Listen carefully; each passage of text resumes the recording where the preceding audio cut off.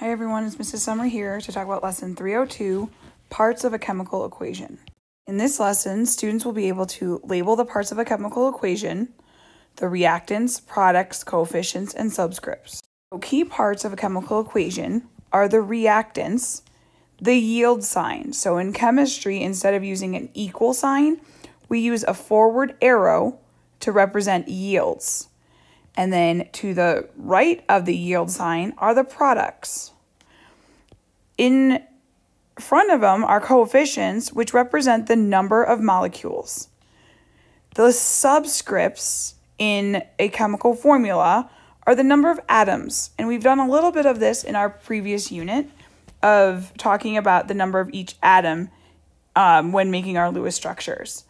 And then the S's or the G's or the L or you, you can also will see an AQ for aqueous, means it was dissolved or dissociated in water. Those are the states of matter. So sometimes you'll see um, chemical equations represented with them, and sometimes you will not. But make sure you're writing this whole diagram in your notes. A chemical reaction is a process in which atoms of one or more substances rearrange to form new substances. So in this example, we have H2O plus H2O rearranging to get H2 plus O2. So atoms rearrange and form new substances. The bonds break and bonds form in a chemical reaction. A chemical equation is a description of a reaction using element symbols and chemical formulas. It's our shorthand way of representing a chemical reaction. So remember, scientists are super lazy. They only write what they have to. And if there is a shorthand notation for writing something, you can bet that scientists are going to be using it. In this example, we have C plus O2 yields CO2. And on this side is our reactants. And over here are our products. And in this one, we also have our subscripts. I meant to use a highlighter. Our subscripts in here.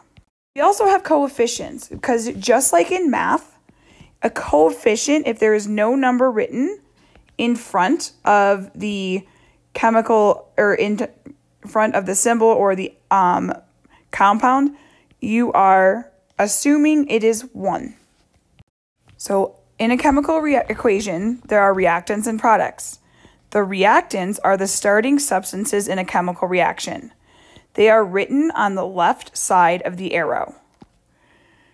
Products are the ending substances of a chemical reaction.